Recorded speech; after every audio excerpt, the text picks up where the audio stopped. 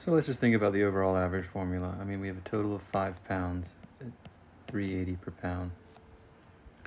And up top, okay, we got uh, three pounds of peanuts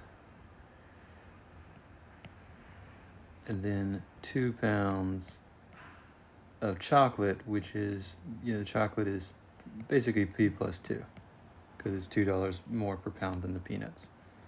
Okay, so I can put it all in terms of P. Then I'm going to solve for how much peanuts, peanuts cost per pound. So I multiply by 5 and do this. Okay, notice 3.8 times 5. Well, I'm going to turn 3.8 into a, that's 3 and 4 fifths. And make a improper fraction. 5 times 3 is 10 plus 4 is 19. So notice it becomes 19 over 5 times 5. That 5 cancels nicely. They reward you for using fractions. 5p equals 15, p equals 3, and we're done. Turn your decimals into fractions, make life easy.